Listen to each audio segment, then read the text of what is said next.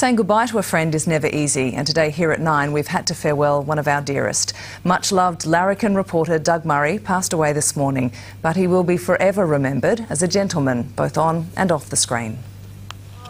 Doug Murray was the storyteller's storyteller, a champagne reporter, his yarns full of pop and fizz.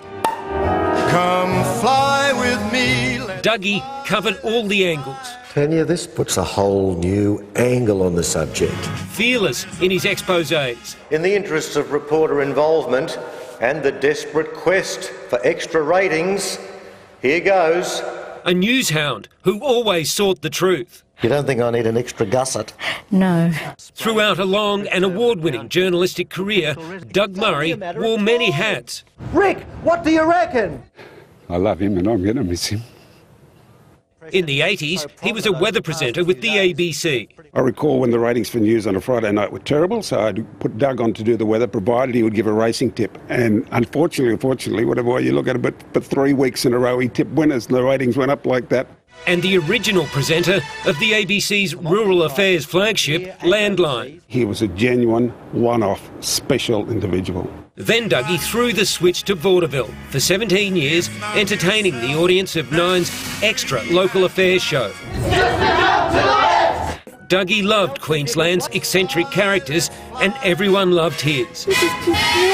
Dougie, In his stories, Dougie could seem larger than life, but he never thought he was bigger than the story. A giant step for mankind.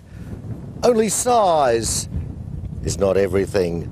Always the character. He is the most beautiful man, and um, there are going to be thousands of people missing him today. Sadly, Dougie's own story has finished all too soon. We can only imagine his final farewell would go something like this. Happy trails to you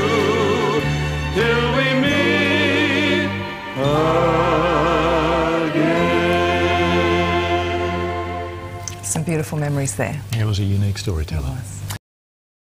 Queensland journalism has lost one of its most engaging storytellers. Doug Murray died at his home in Brisbane after a long illness. He was 63. Pete Lewis looks back on a colourful career. Thanks for joining me. I'm Doug Murray. Like Clancy of The Overflow, Doug Murray had originally gone to Queensland droving before taking up a traineeship with the ABC Rural Department in 1973. There's no other person like him I've seen treat the camera like he did, and the audience respond to him. They just loved him.